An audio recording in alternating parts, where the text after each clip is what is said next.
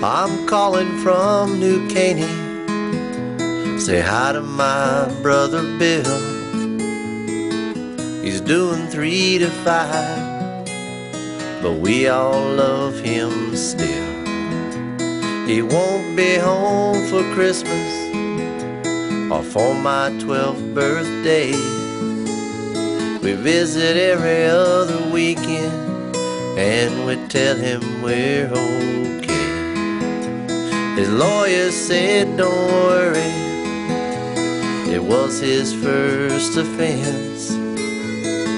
He's gonna get probation and a firm slap on the wrist. A wrong place at the wrong time. He's not that bad a guy. But the judge's wife had left him, and the only witness lied. Although he's only 17, they say he is a man.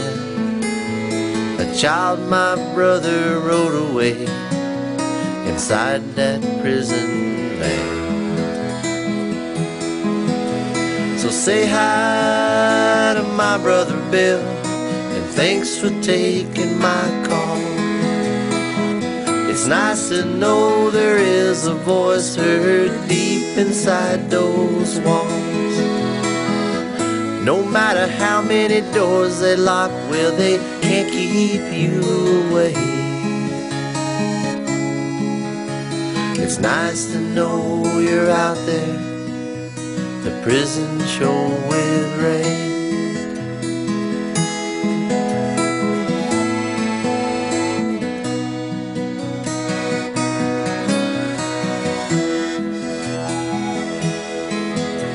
I'm calling from Victoria.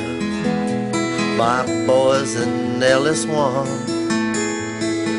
Your mom and me both love you. I know you know that, son.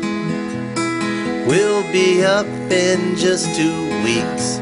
Be sure that you're on time. You know how your mother gets when she has to wait in.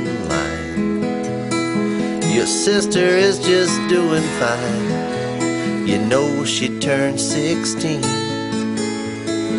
She hadn't learned to use a clutch.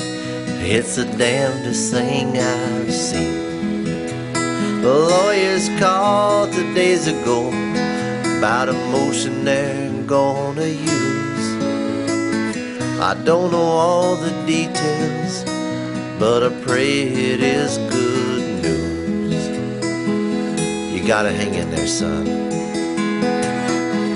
I know the days are long. I also know you can do it, cause you always been headstrong. So say hi to my son Jim, and thanks for taking my call. It's nice to know there is a voice heard deep inside those walls.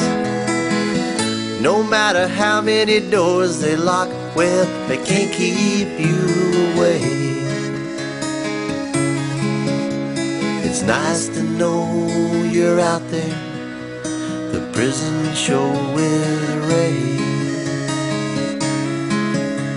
It's nice to know you're out there, the prison show with Ray.